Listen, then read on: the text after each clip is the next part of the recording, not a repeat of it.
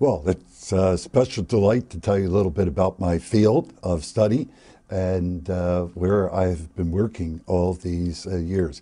Old Testament is kind of my specialty.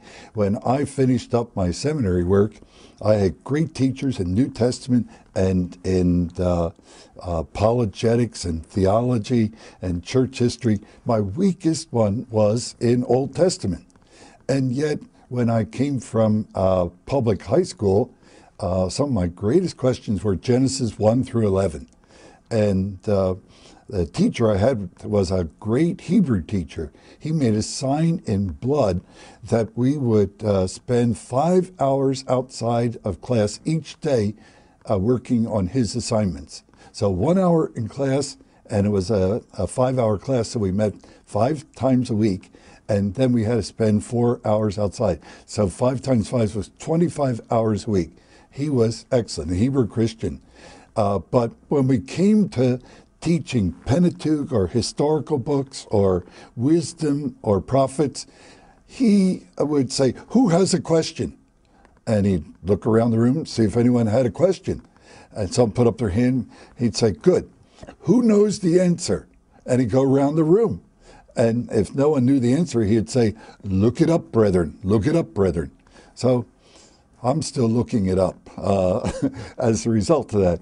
But uh, uh, here in the Old Testament, 77.2% of the Bible, I had the point two to make it sound authentic, but over three fourths of what God had to say is in the uh, Old Testament. And the warmest topics for me have been biblical theology.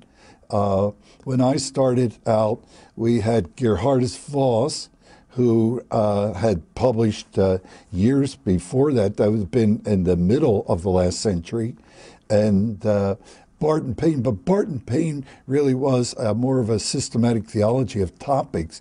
He really didn't go through the Bible diachronically and go through time and show the development of uh, doctrine like that.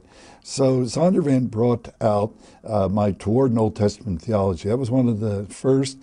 I think it uh, won an award at the time, 78, and that's remained in print up until this year when they have brought out uh, a revision, which is now called The Promise Plan of God, a biblical theology of Old and New Testament.